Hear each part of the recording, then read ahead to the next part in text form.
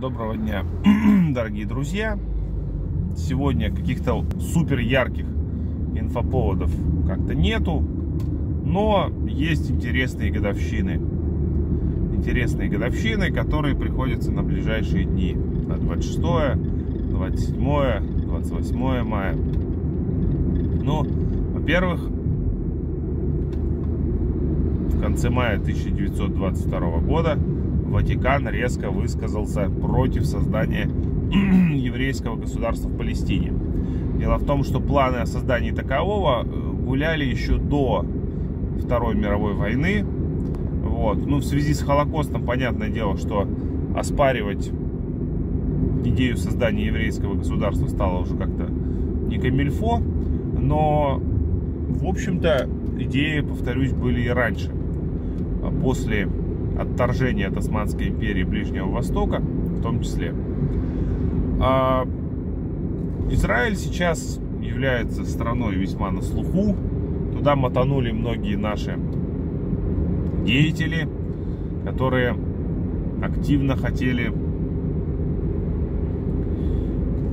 скажем так, отстраниться от имиджа России.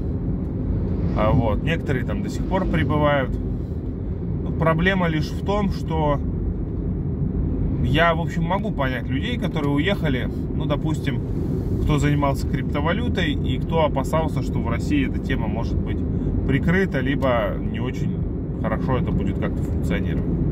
Я нормально отношусь. Ну, так сказать, уехал и уехал человек. Кому-то, может быть, не нравится Россия. Окей, пожалуйста. Но ехать с, с криками, да на самом деле мы, так сказать, против войны, я хочу быть подальше от этого всего. Причем в страны не самые миролюбивые.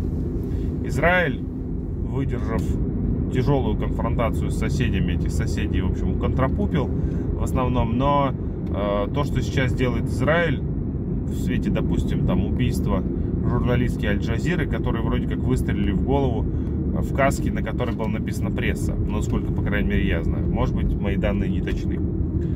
Вот, это, конечно, не очень здорово. И повтори такой выкрутас кто-нибудь там, Сирия, Эритрея, какая-нибудь Северная Корея, сразу бы, естественно, они стали мишенью для атак. А тут, в принципе, так, нормально.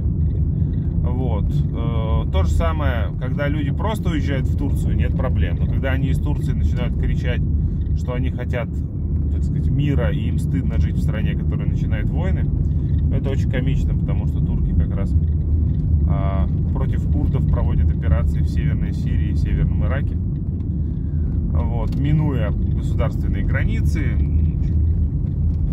действуя вполне военными методами. Вот. Значит, еще интересный момент, э, вот буквально 27 мая 1905 года застрелился Сава Морозов. Дело это было довольно мутное, потому что, ну, есть, правда, такие полуконспирологические, но тем не менее многочисленные указания на то, что вроде как э, по первоначалу э, на самоубийство никто сильно не напирал. Это, правда, может происходить потому, что э, самоубийство в старообрядчестве, а Сава Морозов был из старообрядческого э, купечества, он ну, оно, собственно, считается страшным грехом. Оно вообще в христианстве и считается страшным грехом, но старообрядчество как такая более ортодоксальная, если угодно. Ну, в смысле, ортодоксальная не в смысле придерживания традиций, потому что значительная часть старообрядцев, особенно беспоповцев, они ушли в очень странные формы поклонения. Дырники есть и так далее. Вот. А вот, э, ну, Сава Морозов принадлежал к более умеренной ветви старообрядчества, но, тем не менее, вот с точки зрения соблюдения каких-то э, представлений о греховном и негреховном, э, старообрядчество всегда было очень твердо, и оно, собственно говоря, в этой роли вряд ли бы оценило поступок Савы Морозова, поэтому Сава Морозов был на момент был похоронен на обычном старообрядческом кладбище, Хотя обычно старообрядцев, хорони... Ой, старообрядцы хоронили самоубийц за оградой или на старых полузаброшенных кладбищах. Вот. Э, ну, история темная. Сава Морозов был в определенном смысле вовлечен в политику, в том числе в политику э, революционную. Общался с тем же Максимом Горьким, которому указывал на, что, на то, что его хотят угробить черносотенцы. Черносотенцы это такие проправительственные ребята, вот, борцы с революцией в, свое, в какой-то степени э, популярные в тот момент. Сейчас, кстати, есть попытки опять сказать, что черносотенцы это йоу. Вот. Э, ну, кстати говоря, имейте в виду, что у них были такие пафосные названия, типа Союз Михаила Архангела и так далее.